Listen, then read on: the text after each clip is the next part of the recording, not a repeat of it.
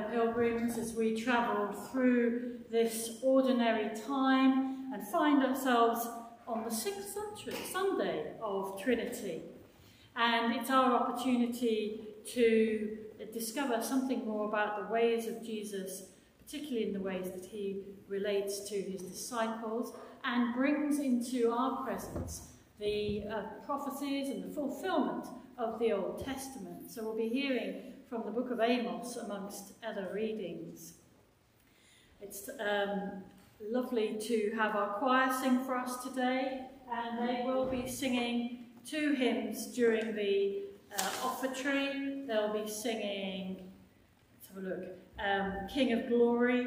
During communion, they'll be singing Fill Your Hearts with Joy. And then outside, if you wish to join, um, the concluding hymn rather, is God is working his purpose. So uh, for those, unfortunately at this moment, we can only but listen. But listen we will, and it's a joy to have our choir singing. And so we bring ourselves into God's presence. The order of service, please do follow it and respond with the words printed in bold.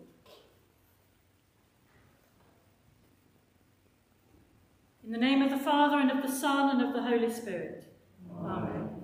Grace, mercy, and peace from God our Father and the Lord Jesus Christ be with you. And also with you.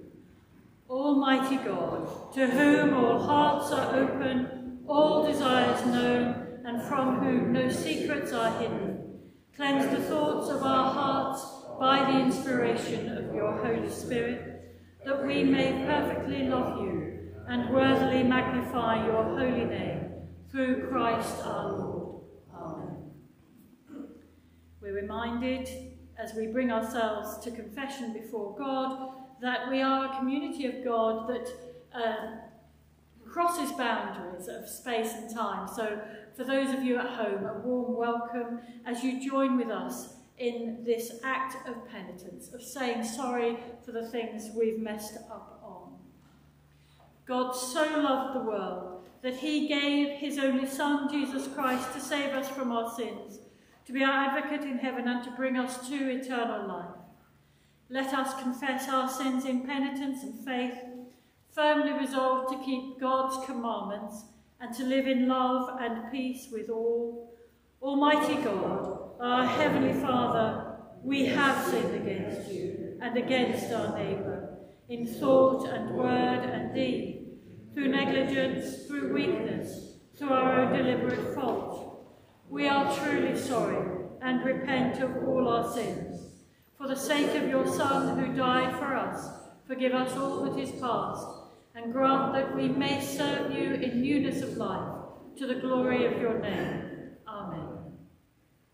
Almighty God, who forgives all who truly repent, have mercy upon you, pardon and deliver you from all your sins, confirm and strengthen you in all goodness and keep you in life eternal. Through Jesus Christ our Lord. Amen. Glory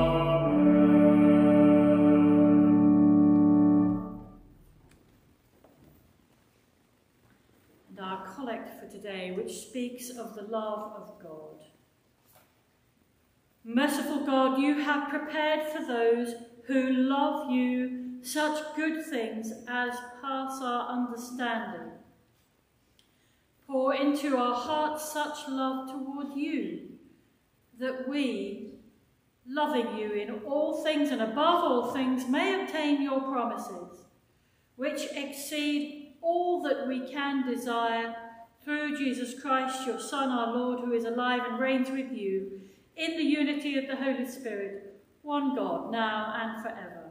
Amen. We now hear our first reading.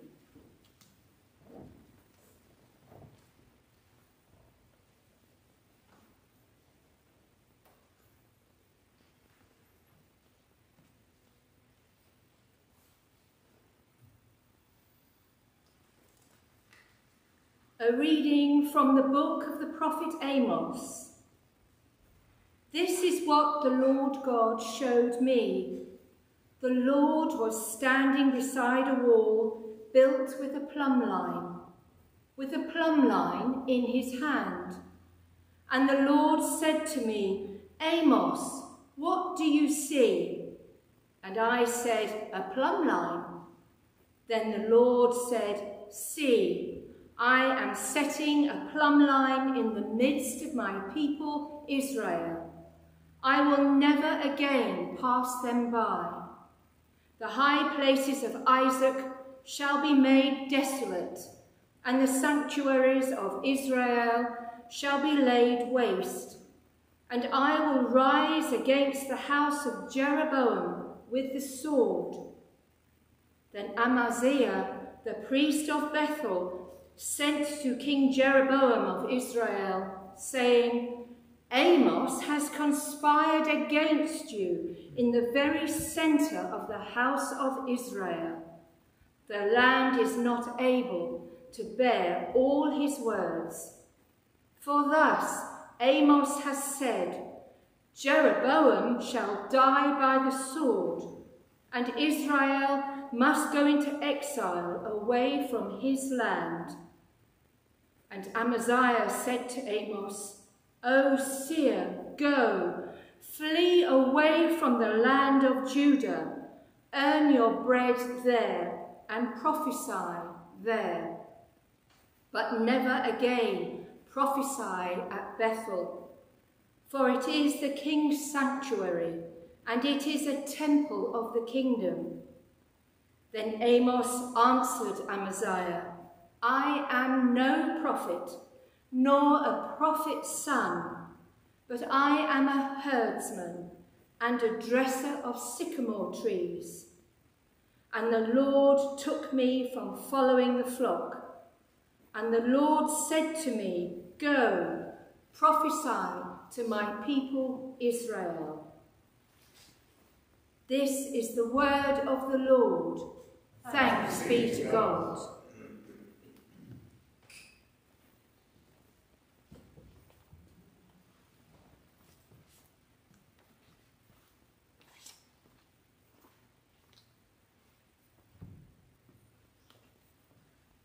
Praise be to the God, the Father of our Lord Jesus Christ, who has blessed us in the heavenly remains with every spiritual blessing in Christ.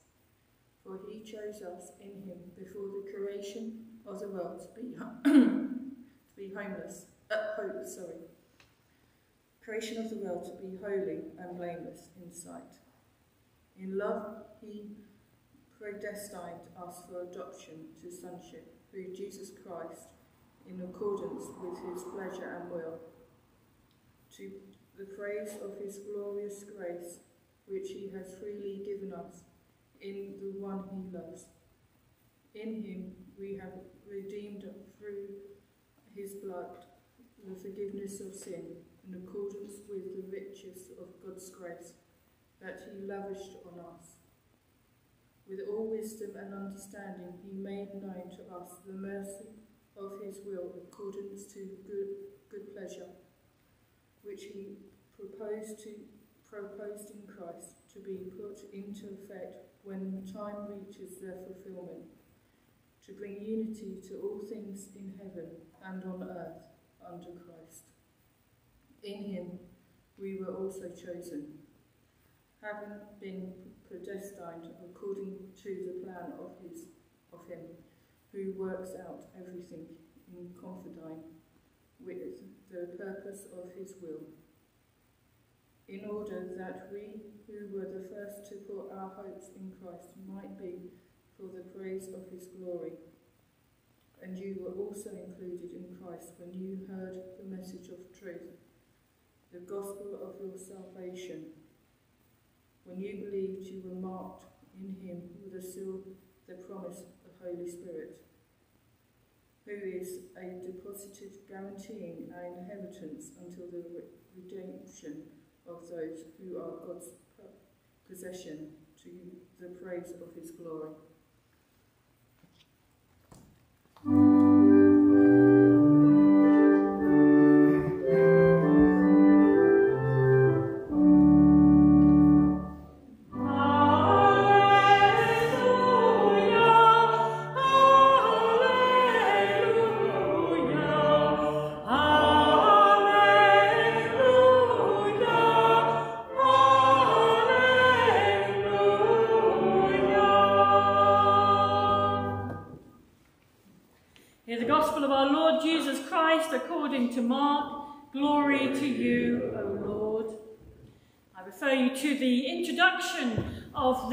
Passage in your pew sheet, it talks about the grim story of John the Baptist's martyrdom that stands in its own right, but is also in the context of the gospel as a whole, a foretaste of Jesus' own passion, which is still to come.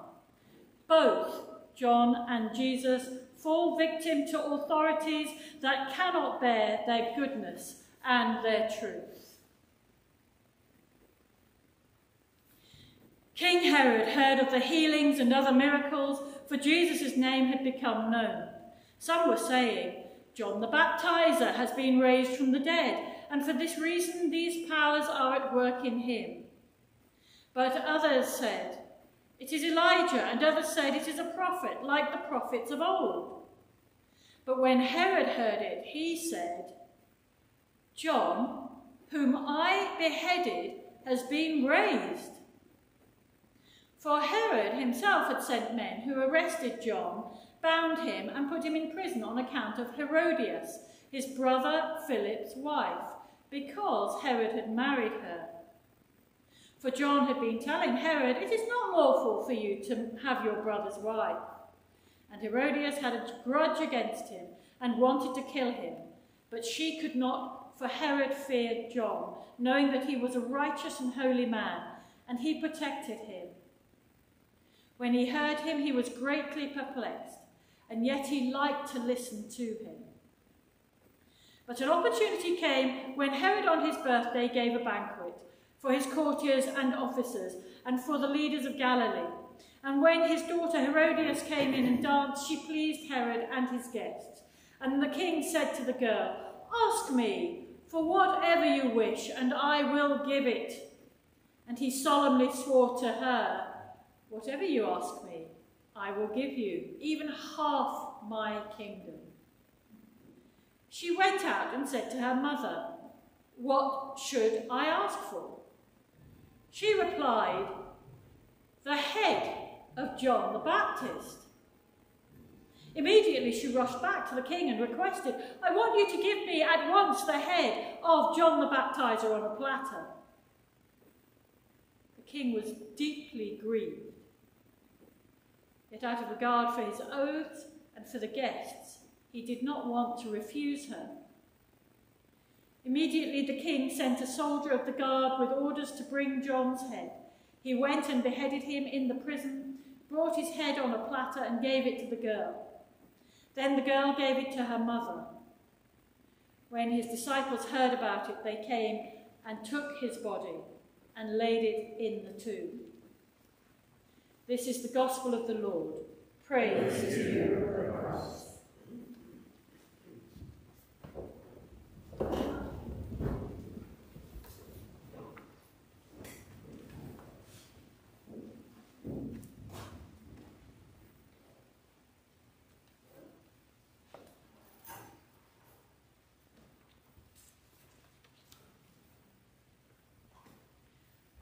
The words which I'm offering you today are not my own. They are from Rob Merchant, the new Dean of Mission and Ministry for the Diocese of Chelmsford.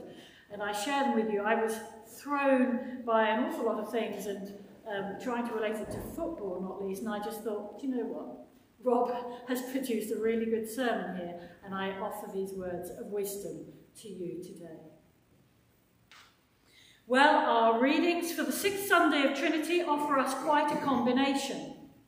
The herdsman prophet Amos threatened. The head of the prophet John the Baptist served on a platter and a beautiful description of the will of God revealed in Christ written to the church in Ephesus, which makes me rather grateful for verse 8 of the psalm, which is often also said on this Sunday in Trinity, I will listen to what the Lord will say, for he shall speak to his people and to the faithful, that they turn not again to folly. Psalm 85. I will listen, for he shall speak. Our God speaks in so many ways, through the gift of scripture, the presence of the Spirit, the wonder of creation, the stillness of prayer, the people we are set in community with. Each one of us adopted into the family of God. And God speaks through us to one another and to the world around us. When we pray, when we read scripture, when we speak goodness and wonder and gentleness into the lives of others. God speaks. But all those things I've listed, listed, those are easy speaking engagements. To speak of God to those who know God, well, that's not difficult. To speak of God to those in need of gentleness and compassion, well, that's simply sharing the love of God that He's shown us already in Jesus Christ. No, the challenge comes when we are called to speak truth to power, when we are called to speak of what is good and just to those who have the power to end our lives or constrain our lives, when we must risk our discomfort or our status for the sake of those who have no comfort, no status, and no voice.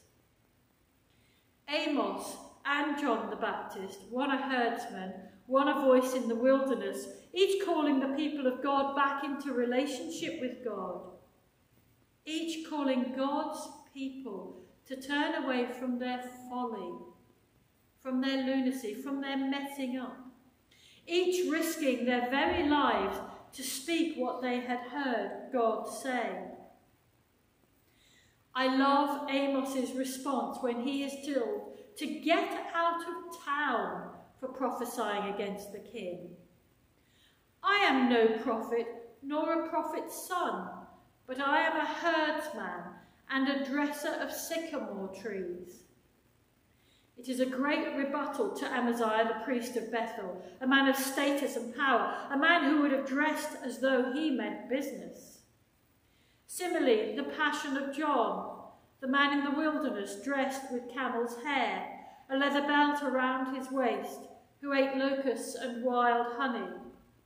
He called God's people to turn away from their folly and to turn to the living God. And he called out Herod, the ruler, for all the evil things he had done, which landed him in prison and eventually with his head on a platter. You see, the call of a prophet is to speak truth to power. There's something in the church called the Didache, which simply means teaching. It's one of the early, earliest texts from the first or second century that gives us a bit of an insight into the early church. The Didache, or Didache, covers various aspects of church life, of what it meant to live as a Christian, and also what it meant to live as a prophet. You see, lots of people claim to speak in the name of God. Many claim God's power, and the Didache is a helpful reminder of what to look for and to listen for in the prophet. First, you will tell a prophet from their behaviour, which will be of the Lord Jesus.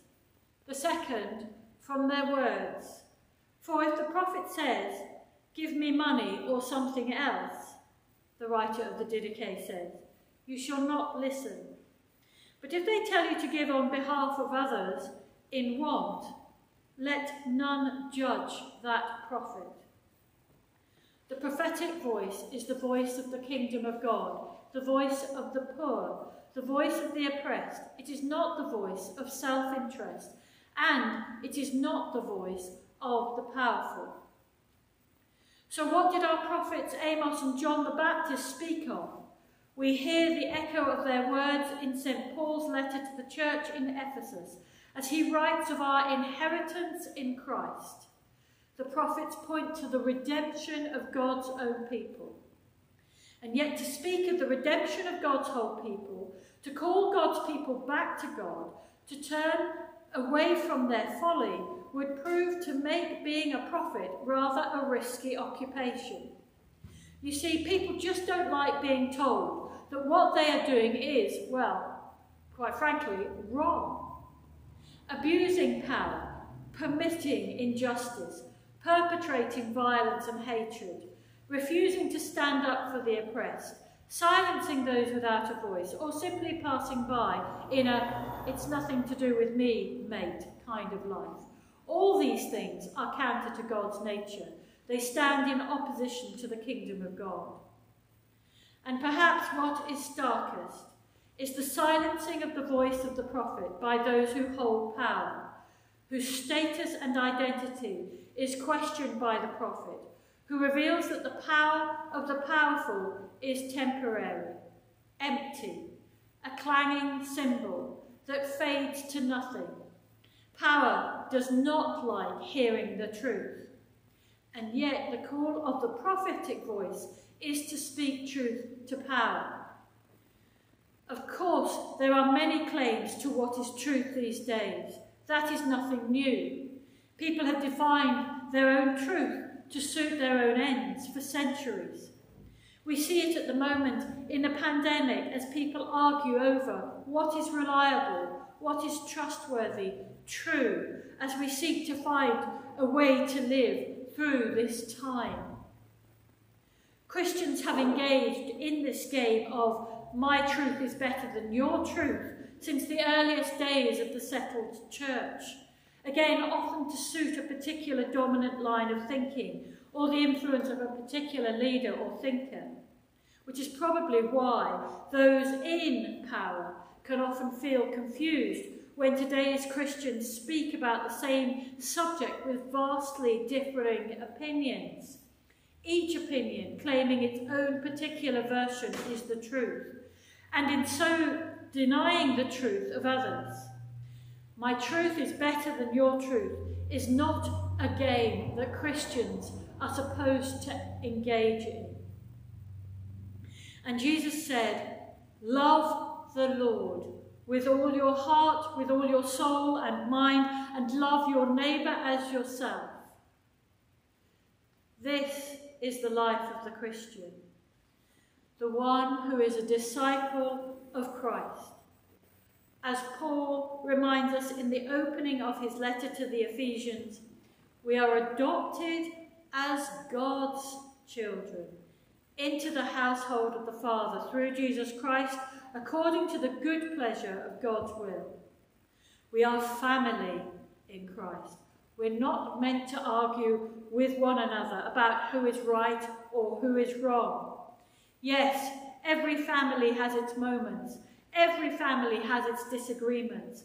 Every family has the embarrassing cousin or aunt or uncle. But the family of God in Jesus Christ, we are called to be a prophetic voice to the world, to call people into relationship with the Father through Jesus Christ and empowered by the Holy Spirit to use our voice to empower the voiceless. We are called to speak truth to power. Amos spoke, John the Baptist spoke. They risked everything and sacrificed everything, even life, in order to make the truth of God's extravagantly eternity transforming love known. A love older than time, a love stronger than death, a love that is radically altering the very nature of our existence each and every moment of our lives. That is the truth that the powerful must be told time and time again until the very end of the age. Our voice is a gift, and when we raise our voice as the family of God, in unison and unity, to speak and to cry out of the love of God made known in Jesus Christ, the world changes.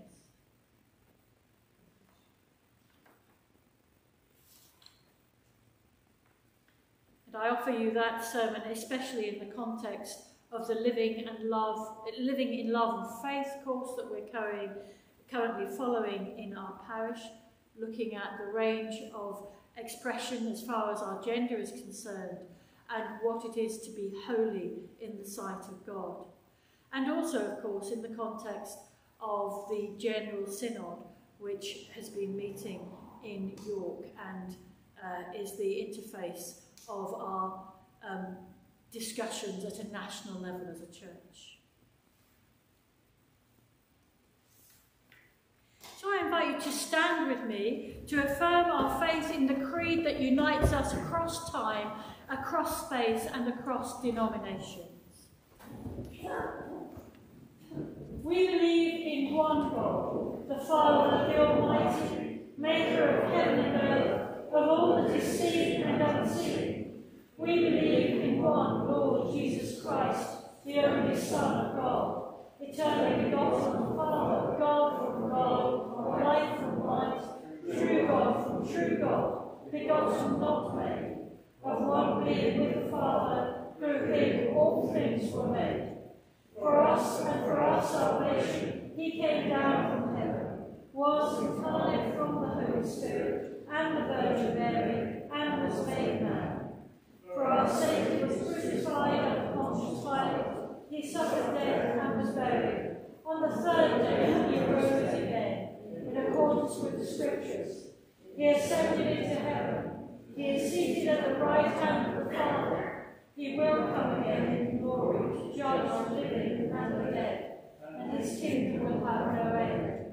We believe in the Holy Spirit, the Lord, the giver of life, who from the Father and the Son, who with the Father and the Son is worshipped and glorified, who has spoken through the prophets. We believe in one holy Catholic and Apostolic Church. We acknowledge one baptism for the forgiveness of sins. We look for the resurrection of the dead and the life of the world to come. Amen. Please sit or kneel for our time of prayer.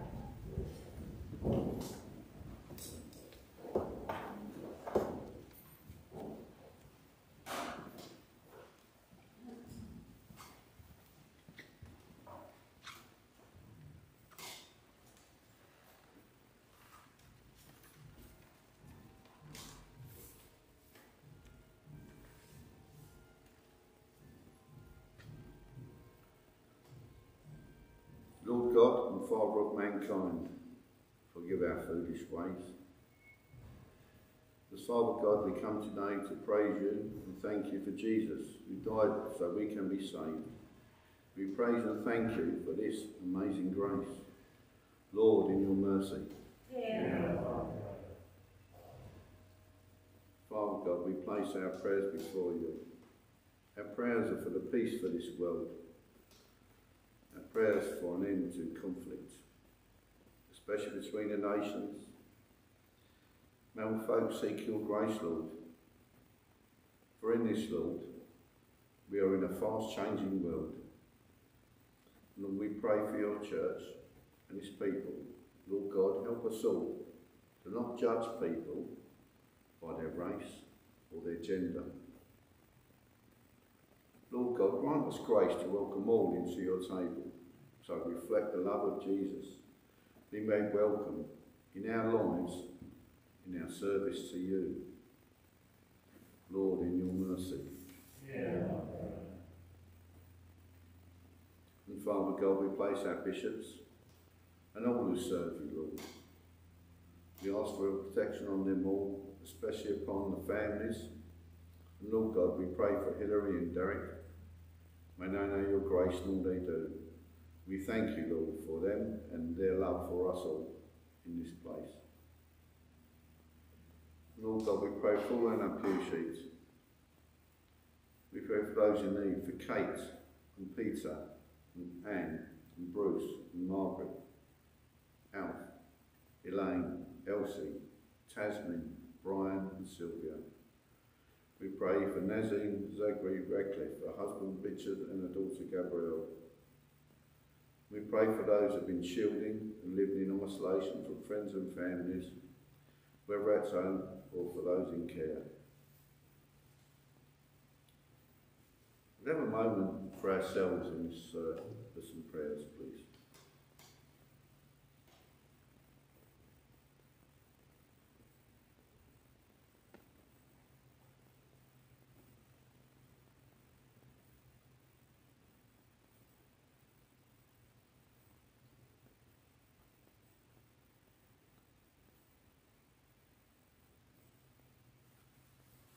Lord God, our prayers for all these people, Lord, may they know your peace. And Lord, we pray today for the work of UNICEF, the Save the Children Fund, particularly in their work they're doing in the Yemen. It seems to be a forgotten place by the people of this world. May their conflict stop so children can grow and have a better life. Our Lord, in your mercy, Lord God, we pray for our Queen and our family. We thank you for her. Lord, her service to the Commonwealth, for this country, and to you, Father God. We also pray for our government to help all peoples across your world in all places. We pray for the National Health Service, for the doctors, the Army, the Air Force, the Navy, the Fire Service, and all the volunteers across this country of ours. We thank you for the privilege of living in this place. We pray for your loving hand upon us all. We pray for all the folk that are lonely. We pray for the refugees, and there are many. We pray for all displaced people, and there seems to be even more than them. May Lord all seek your grace. Lord, we pray for Laurie and Pam. We especially pray for Laurie as he recovers from his eye operation. Merciful Father, accept these prayers for the sake of your Son, sake of Jesus Christ. Amen.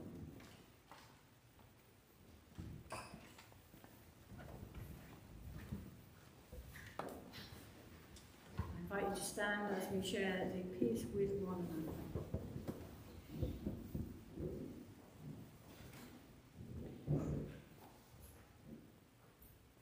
This peace has particular resonance given the baptism that we had in this church last week and a reminder of our own call through our own baptism.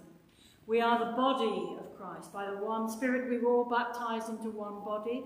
Let us then pursue all that makes for peace and builds up our common life. The peace of the Lord be always with you. Let's offer one another a sign of God's peace.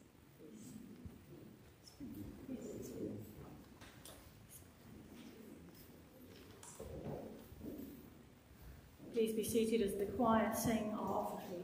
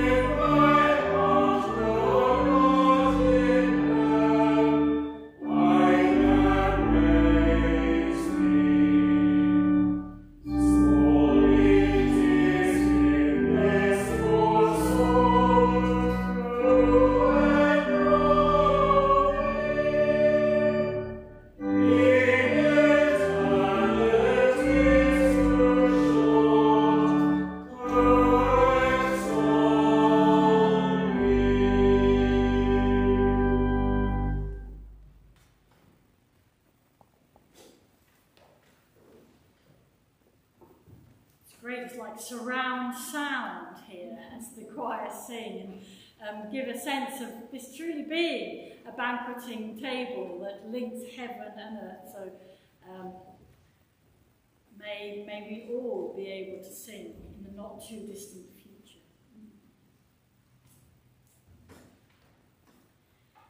Be present, be present, Lord Jesus Christ, our risen high priest, and make yourself known in the breaking of bread.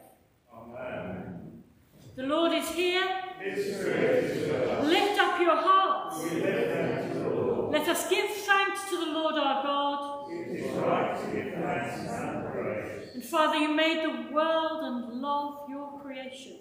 You gave your Son, Jesus Christ, to be our Saviour. His dying and rising have set us free from sin and death. And so we gladly thank you with saints and angels, praising you and singing.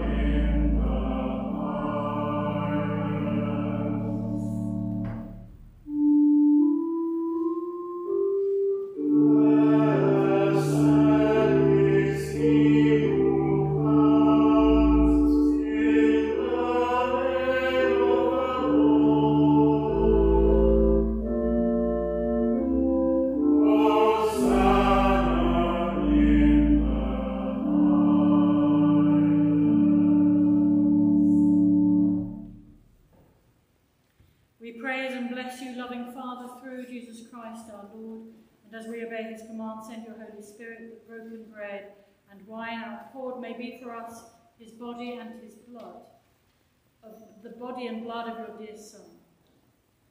On the night before he died, he had supper with his friends, and taking bread, he praised you. He broke the bread, gave it to them, and said, Take, eat, this is my body which is given for you. Do this in remembrance of me.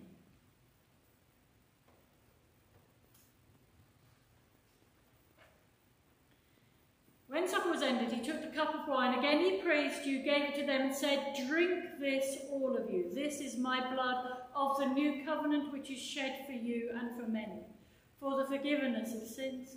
Do this as often as you drink it in remembrance of me. So, Father, we remember all that Jesus did. In him we plead with confidence his sacrifice made once for all upon the cross. And bringing before you the bread of life and the cup of salvation. We proclaim his death and resurrection until he comes again. Christ has died. Christ is risen. Christ will come again. And Lord of all life, help us to work together for that day when your kingdom comes and justice and mercy will be seen in all the earth. Look with favour on your people and gather us with Bartholomew, Nicholas, and all the saints to feast at your table in heaven through Christ and with Christ and in Christ. In the unity of the Holy Spirit, all honour and glory are yours, O loving Father, forever and ever. Amen. As our Saviour taught us, so we pray.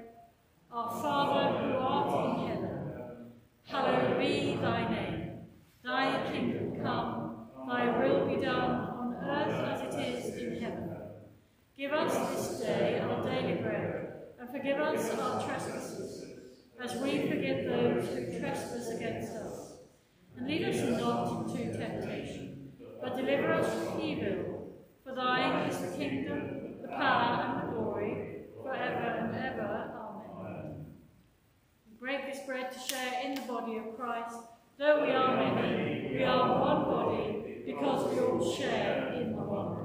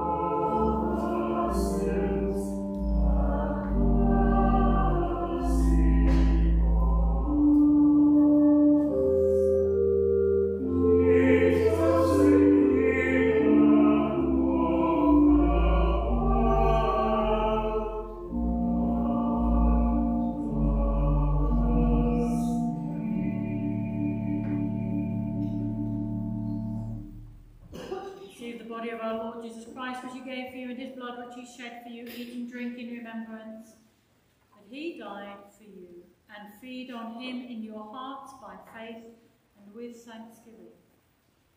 Jesus is the Lamb of God who takes away the sin of the world. Blessed are those who are called to his supper. Lord, I am not worthy to receive you, but only say the word, and I shall be healed. The body of Christ. Amen. Amen. The blood of Christ. Amen.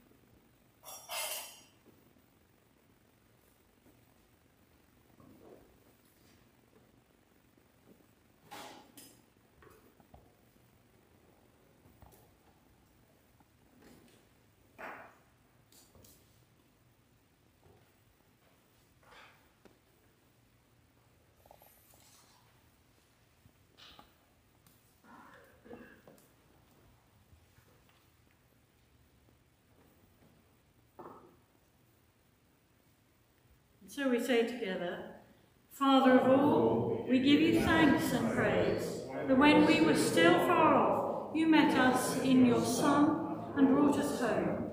Dying and living, he declared your love. gave us grace, and opened the gate of glory.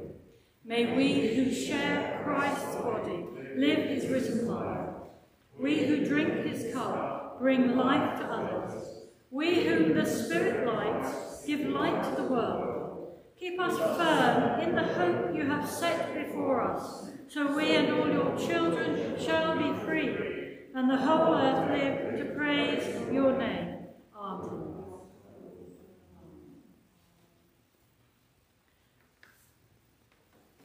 Well, it's um, time for some notices, and I'm just mindful of the privilege that we have of gathering to share in the breaking of bread and hearing the scriptures, and for those of you at home um, as well, to have the technology to share with you as well. Of course, we're all of us on tenterhooks as we wait to hear what is going to be said tomorrow about social distancing, and we have a, a range of um, sensitivities, even in this space, about um, how we're going to manage ourselves as we come into the next stage um, following, or as we continue to journey through this pandemic.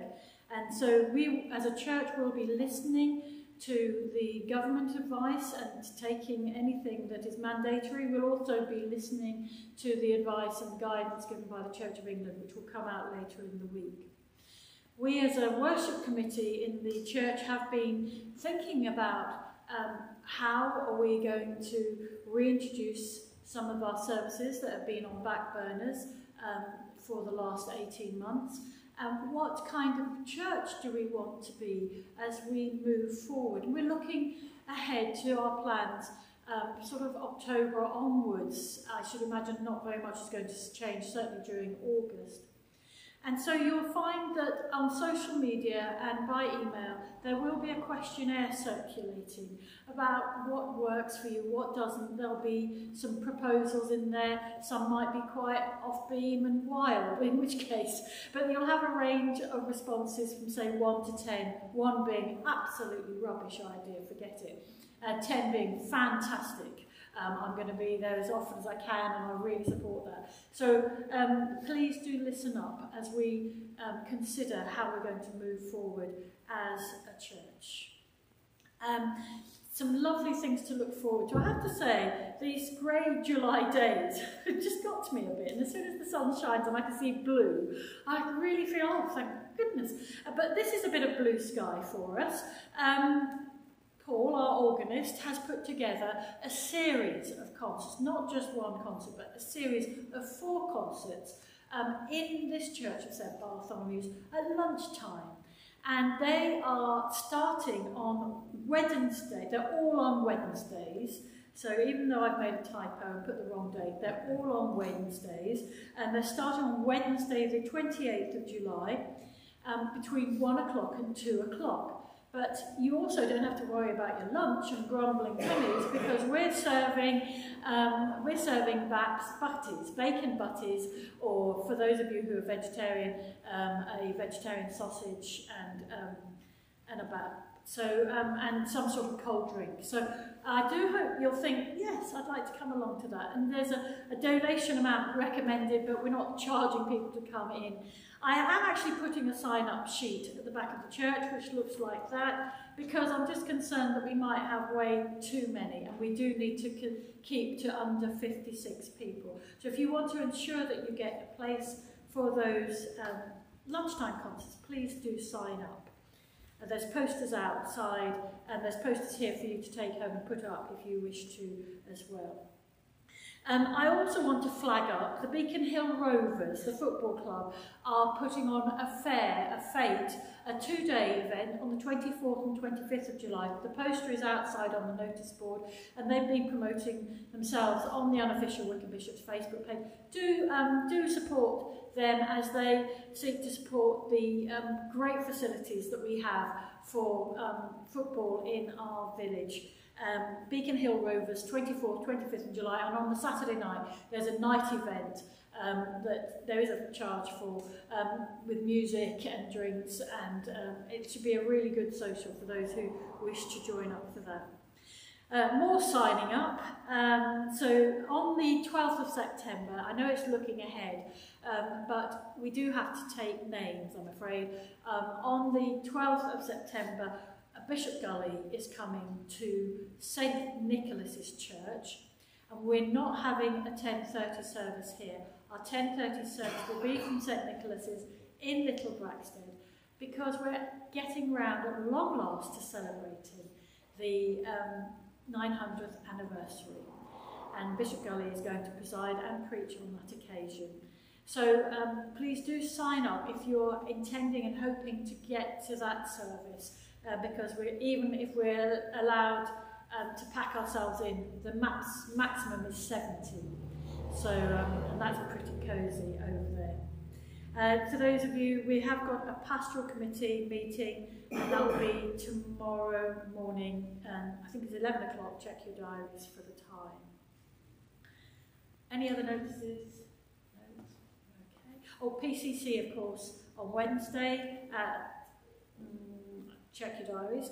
And also um, Living Love and Faith. We've got the last session on Tuesday evening at 7.30 here. So as we give thanks to God, as we give thanks for each other, as we yearn to share coffee and chat at the end of our services, um, we lift all that we are and all that we are becoming to God and ask for God's blessing on our lives. So, and I should say, after um, the organ has stopped playing, those of you who wish to go out and have a good sing outside, am I right in thinking outside? Yep, um, can join uh, members of our choir and we'll be singing in the churchyard. Sorry, I invite you to stand.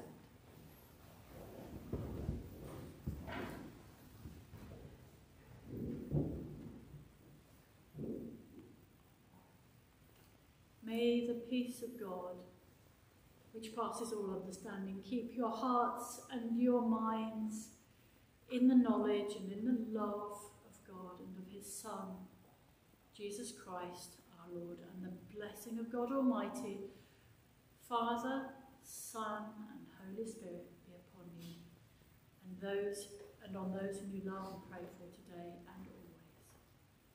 Amen. Amen. Go in peace to love and to serve the Lord in the name of Christ. Amen.